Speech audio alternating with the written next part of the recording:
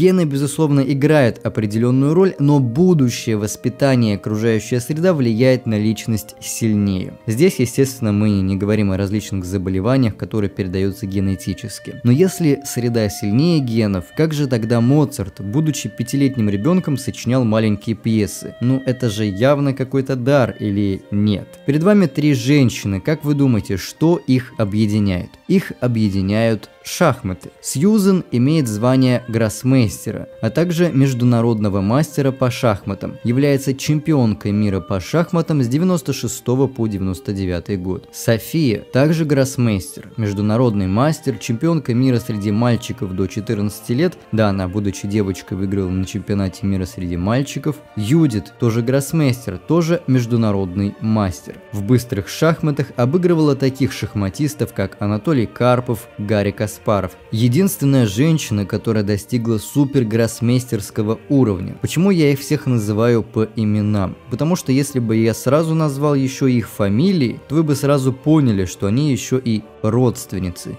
Да и не просто родственницы, а родные сестры. Ну, наверное, их отец был тоже великим гроссмейстером и просто им это передалось. Нет, их отец, Ласло Полгар, сначала работал сварщиком, а затем отучился на педагога, проработал учителем. Перед рождением собственных детей он, читая книжки по педагогике и психологии, задумался, а является ли талант врожденным. Изучив биографии некоторых композиторов, в том числе того же Моцарта, он пришел к выводу, что Моцарт не рождался гениальным, ведь за всем его гением стоит огромное количество работы, как самого Вольфганга, так и его отца. Вольфганг Амадей Моцарт родился в семье скрипача и композитора. Ребенок с детства слышал, как отец музицирует. Сначала просто повторял за отцом, а потом отец начал с ним заниматься, когда тому было всего три года. И с того времени Моцарт сутками напролет практиковался. И тогда Ласло решил провернуть то же самое со своими детьми, только заниматься не музыкой, а шахматами. Результат его эксперимента над собственными детьми вы уже знаете.